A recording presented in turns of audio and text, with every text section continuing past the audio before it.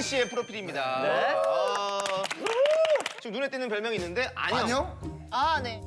형이란 별명이 붙은 이유가 또 있을 거 아니에요? 어, 잘 모르겠어요. 무슨 소리야? 너무 본인이 잘 알고 있어요.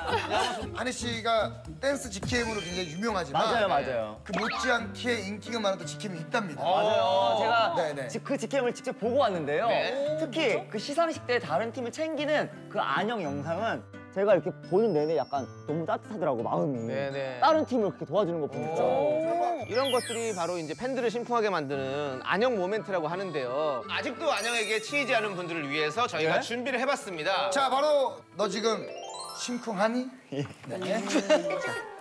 네, 지금부터 몇 가지 상황을 한희 씨.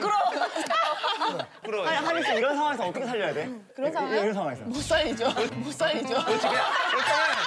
그럴 때는 넘어가는 거예요. 네 하면서 시작하면 돼요. 네. 네, 지금부터 몇 가지 상황을, 상황을 네, 지금부터 몇 가지 상황을 볼 텐데요. 자, 한희 씨가 진짜 있는 모습 그대로. 원래 안희연의 모습대로 좀 네. 보여주세요. 네. 자, 첫 번째 상황입니다. 네, 내 머릿속에 지우개인가요? 그렇습니다. 거기 나오는 명장면이죠? 포장마차에서 각자 이렇게 소주잔을 놓고 딱 소주잔을 들면서 이거 마시면 나랑 사귀는 거다 딱 하면서 멋진 대사가 있죠. 이거를 장면이죠. 한희 씨 느낌으로 이거 마시면 나랑 사귀는 거다. 약간 네. 그 느낌에 카메라 보고 한번 해주시죠. 팬분들을 보고 한다고 네. 생각하시고 나, 나 지금 따라해보고 싶어. 여러분 물입니다. 생수. 예.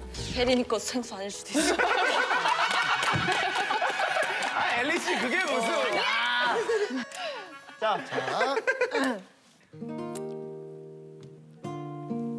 이거 마시면 나랑 사귀는 거다.